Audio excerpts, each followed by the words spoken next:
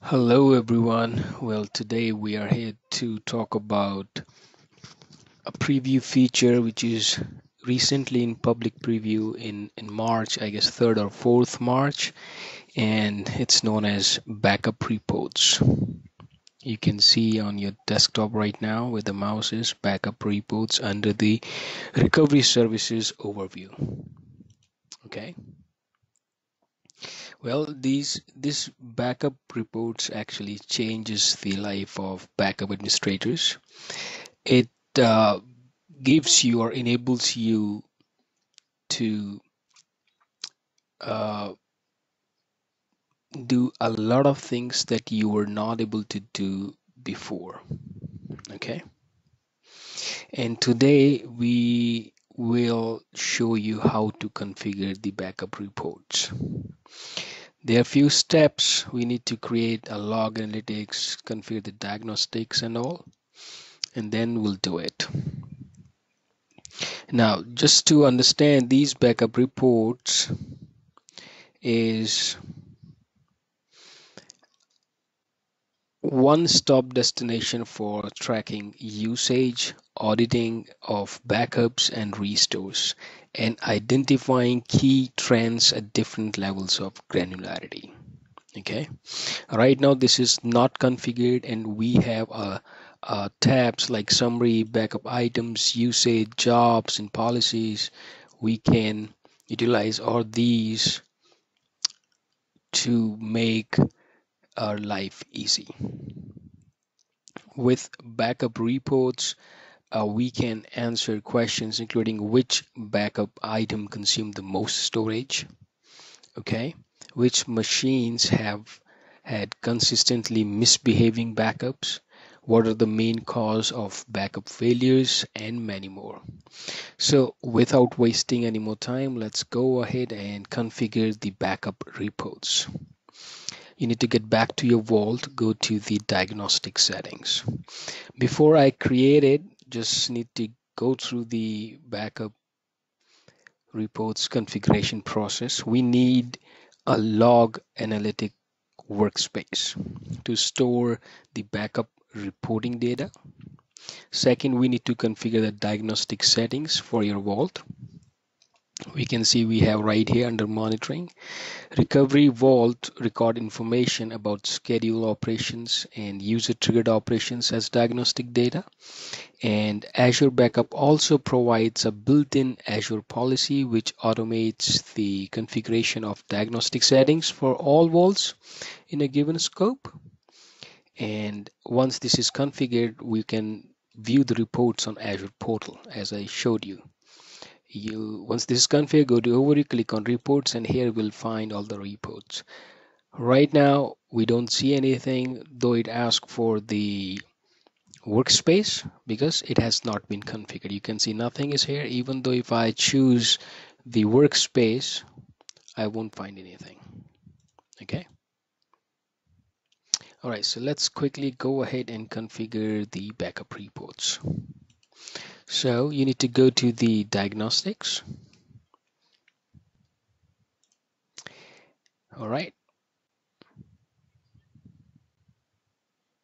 And then because I already have the workspace, I told you our first step is create a log analytics workspace, which is independent of the location and subscription where your vault exists. So I already have the uh, workspace or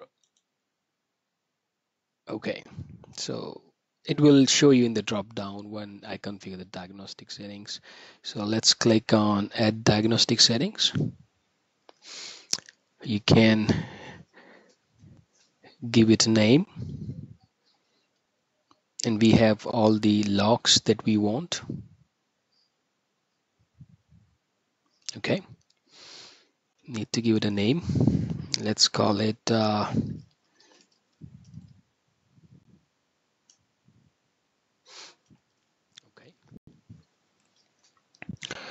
and let's select the logs that we want.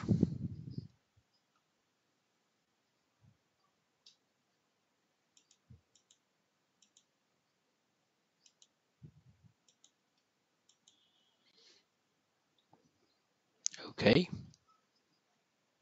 And we want to send these these logs to a log analytics.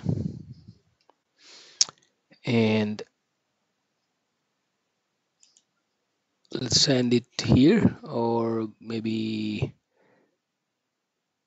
yeah let's send it here. No no worries. Okay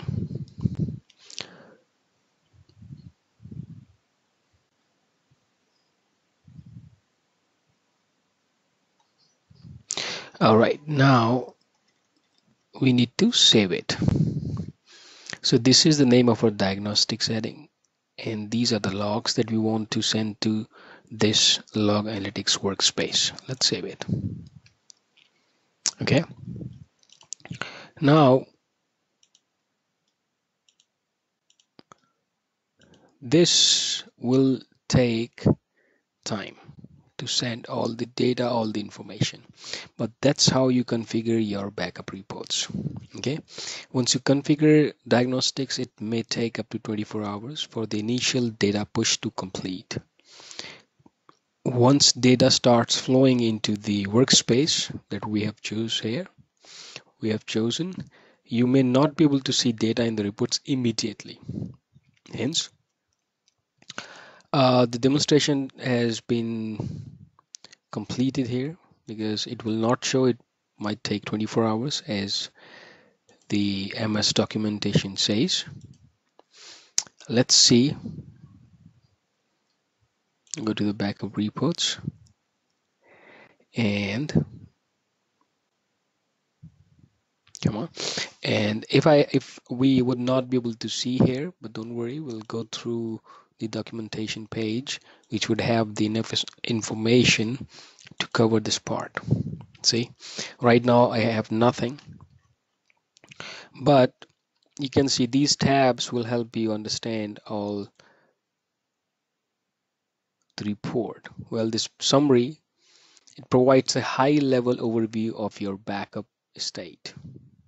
You can get a quick information of the total number of backup items, total cloud storage consumed, number of protected instances, and the job success rate per workload type. Okay, under backup items, uh, you can see the trends on cloud storage cons consumed at a backup item level. For example, if you're using SQL in Azure VM Backup, you can see the cloud storage consumed for each SQL database being backed up okay. Under usage you would have the information about your uh, key billing parameters of your backups. Is the billing entity for your backup.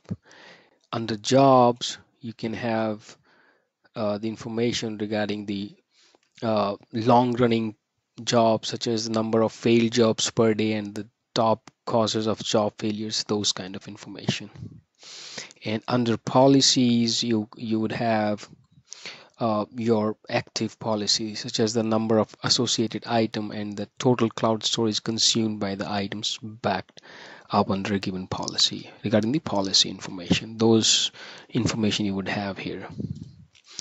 This that's how you can configure your backup reports. And if you want to see this you can go and this is the update announcement on the March 4th regarding the backup. It also mentioned few benefits like boundaryless reporting across multiple workload types that are associated by Azure Backup, not only the Azure VM. It says rich slicing, dicing, and drill down capabilities, offers a range of filters and visualization experiences that enables you as a backup administrator. Native Azure based experiences. Backup reports can be viewed right on the Azure portal. I showed you that like this. And under the documentation, you can see once you configure that, you would have those information that I was talking about. See, uh, this is the summary page it gives the information about total number of backup items, total cloud storage consumed, those information you can see right now under summary we have backup items 42 15.5 protected instances cloud storage in GB and below there is a granularity. Similarly for the backup items we can see 82 7 protection stopped those kind of information and you can drill down below same goes for the usage. Okay? You can see. And this jobs. And the policies which are active which are associated. You can export this to excel. You can pin it to dashboard so this is the backup reports which is in preview. You can go and use this feature. If you want you can submit your feedback to the Microsoft and do check it out. Thank you. Thank you for watching